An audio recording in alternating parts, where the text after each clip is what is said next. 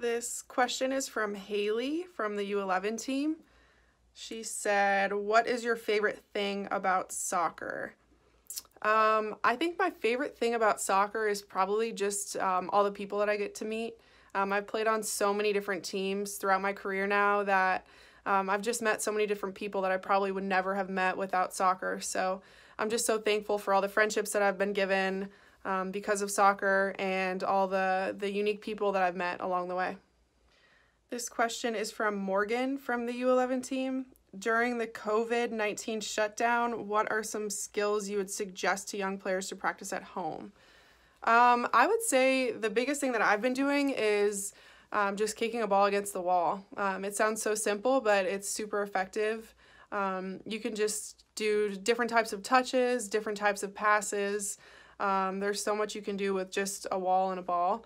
Um, whether that's just like inside of the foot, one touch passing with a ton of repetitions, or um, a touch across your body, um, an outside the foot touch, um, two touch passing, uh, chipping against the wall. There's just so many variations that you can create with just a wall and a ball. So I would suggest doing that and um, just some juggling. So keep it simple, but those two things are really effective.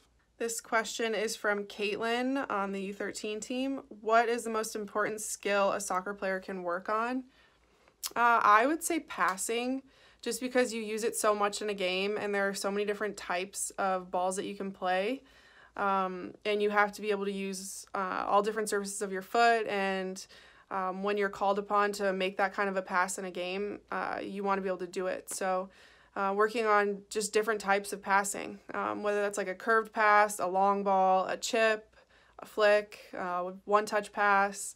There's just so many ways to pass the ball, and I think the more that you can do um, with passing, the better player you'll be. The next two questions are from Emma on the U14 team. She asked, Who is your biggest influence? Um, I think my biggest influence has always been my older sister. Um, when we're only 15 months apart, so she started playing soccer, so I started playing soccer. Um, and as we've gotten older, she's continued to influence me in positive ways. We're super competitive, and she um, has a really cool career as well. She works at Netflix, and she just pushes me to be better and has always just influenced me in positive ways.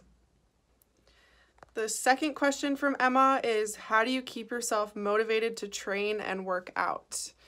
Um, I think that's a good question because obviously, not every day you can wake up motivated and feeling like you want to work out or run a fitness test or anything like that. So, um, it's really important to find that internal motivation. And for me, um, I just keep it simple. I think just knowing that whatever I'm going to do is going to impact me and how I play is enough motivation for me to to want to get out and work out. So every time I go out and train or every time I go out and run, um, I try really to to think about that. Just knowing that if I take a rep off, it's just going to impact me later. So um, I try and like remind myself as I'm running, like if you slow down or if you don't pace yourself correctly or if you don't sprint as hard as you should or you don't try and lift more, um, those things are all going to come back to you in a negative way. So I just make sure to push myself always and that motivates me um,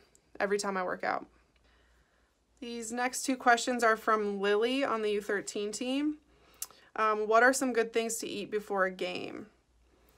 Um, I usually just like to eat like a banana and peanut butter, an apple and peanut butter, um, and definitely just like enough carbs to fuel you fuel you for the whole game. Because um, obviously carbs are your energy source, and they're gonna allow you to keep running and keep your focus throughout the whole game. So um, any kind of carbs you can get in.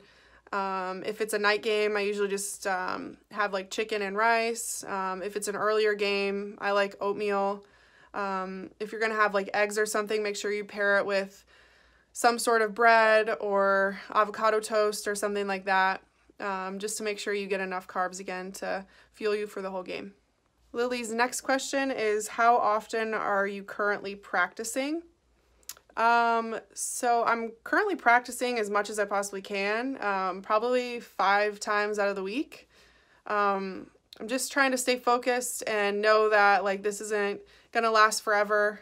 So um, yeah, I just get out there again. I, I kick against the wall a lot. I set up cone drills and just do technical stuff and um, running and lifting, body weight stuff.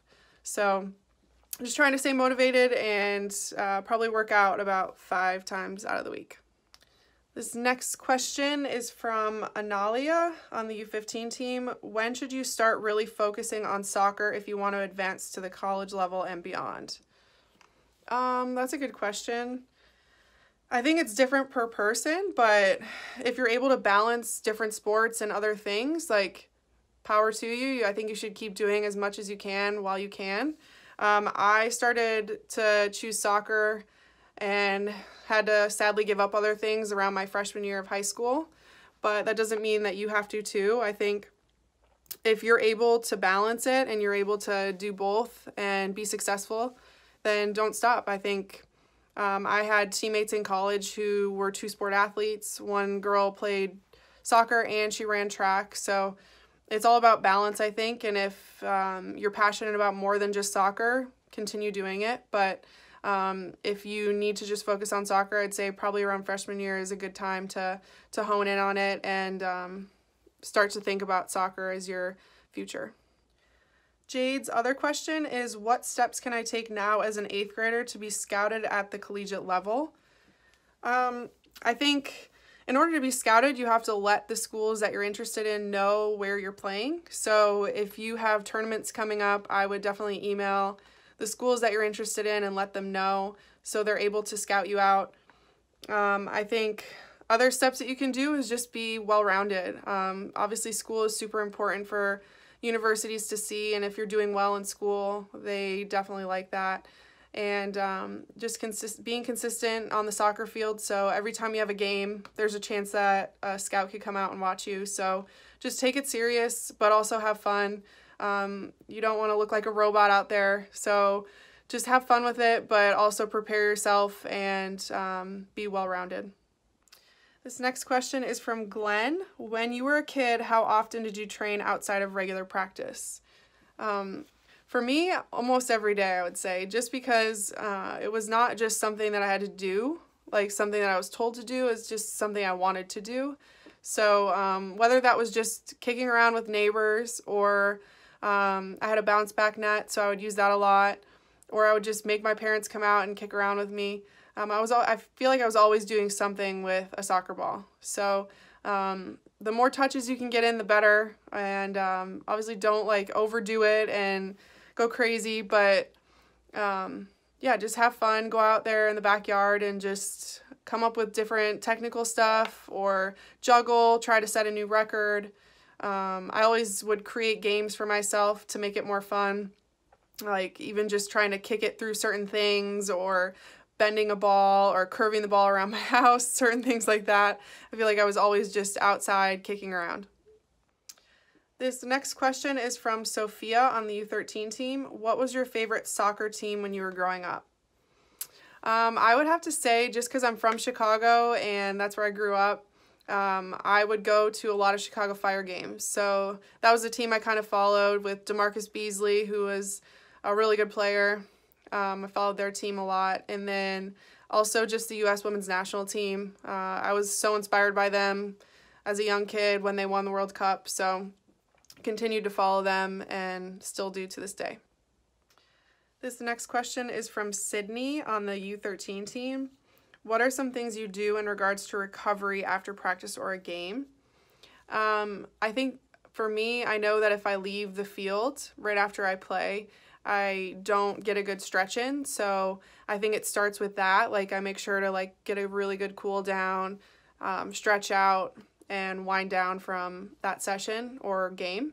And then um, right after that, I refuel. So I make sure to eat like really nutritious, healthy food and rehydrate as well, which helps with just getting that water back that you lost in the session or in a game, especially in the summertime.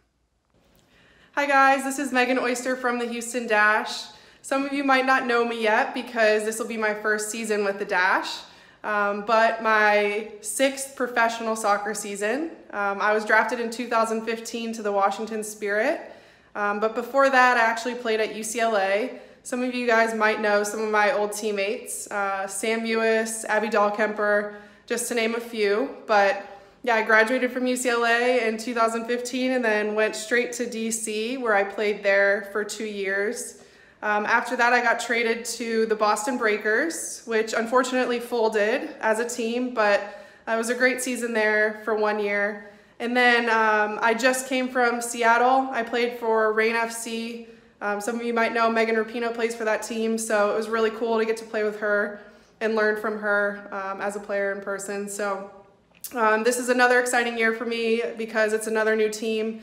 But again, I'm really looking forward to representing Houston and uh, playing for the Dash this season. I've received some really great questions from all of you girls at Pflugerville United, so thanks for sending them. I did my best to answer all of them, and if you have any other questions, feel free to reach out. I'd be happy to answer them, and uh, hopefully I'll see you guys at some of the Houston Dash games.